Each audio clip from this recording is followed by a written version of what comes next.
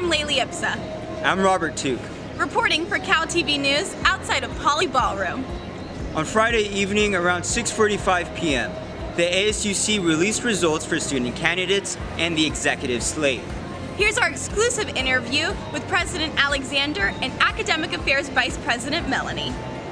Why is this victory important to you? We came out of this really just focusing on sending a message, um, getting to know students, talking to students, um, really being there on the ground and just having conversations because I think that's what elections are about. And um, you know, it, it, resonated, and that's what really means something to me is that we we have uh, 11 senators and three executives in all the positions that we contested, and people cared about um, student action and, and, and, the message that we sent. I personally decided to run for AVP in February.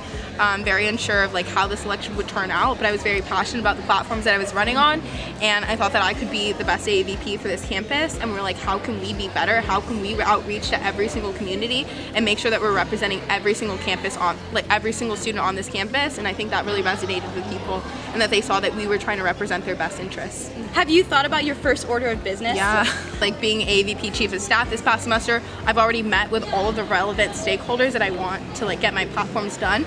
And so immediately getting started on like things on like reforming grants and scholarships and working with the Career Center and like the library. So yeah, I've kind of already been working on it, but like continuing the work is now exactly. going to go on you know, this is this is about um, students who want to take initiative on this campus, and um, it's not about me. It's about our office and the work we're going to do.